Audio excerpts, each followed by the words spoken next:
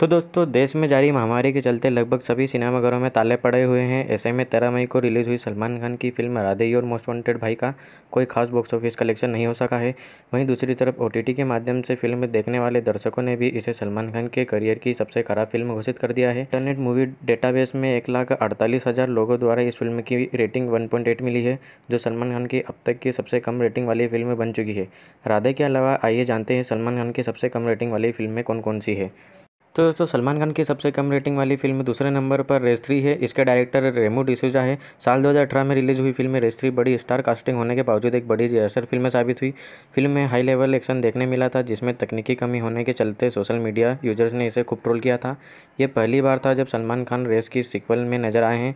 डेढ़ करोड़ रुपये के बजट में बनी इस फ़िल्म ने तीन सौ करोड़ से ज़्यादा का बॉक्स ऑफ़िस कलेक्शन किया था। हालाँकि इसे दर्शकों का पॉजिटिव रिव्यू नहीं मिल पाया।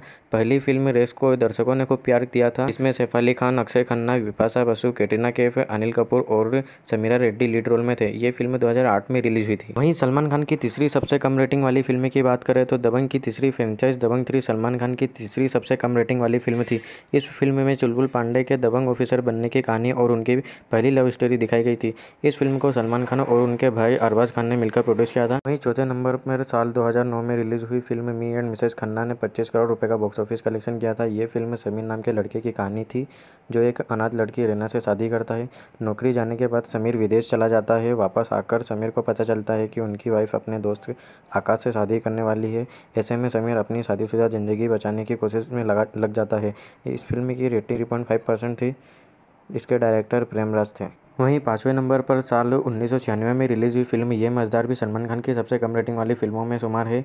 ये फ़िल्म एक लव ट्रायंगल है, जिसमें राधा यानी मनीषा, कोइरेला की शादी, गोपाल यानी सलमान खान से हो जाती थी, जबकि वो कृष्णा यानी राहुल रॉय से प्यार करती थी। शादी के बाद राधा गोपाल के पास अपनी बेटी छोड़कर दोबारा कृष्णा के पास चली जाती है, जिसके बाद गोपाल अतिरिक्त सवाल का जवाब पाने के लिए कृष्णा से मिलते हैं। वहीं छठे नंबर की बात करें तो साल 2008 में रिलीज़ हुई फ़िल्म गोड तुसी ग्रेट हो, सलमान खान की चौथी सबसे कम रेटिंग वाली फ़िल्म है। इस फ़िल्म में सलमान ने एक लापरवाह लड़के अरुण का किरदार निभाया था, जिसे अचानक भगवान की शक्तियाँ मिल जाती है। अरुण दुनिया को बेहतर बनाने के लिए सभी लोगों की दुआएँ पूरी करने लगता है, जिससे मुश्किलें बढ़ जाती है। ये फ़िल्म 2003 की हॉलीवुड फ़िल्म ब्रूस ओलमाइटी की हिंदी रीमेक थी।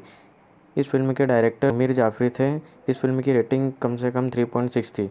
वहीं सातवें नंबर पर सबसे कम रेटिंग वाली फ़िल्म की बात करें तो साल 2017 में रिलीज़ हुई सलमान खान की फ़िल्म ट्यूबलाइट अच्छा बॉक्स ऑफ़िस कलेक्शन करने में फेल हो गई थी।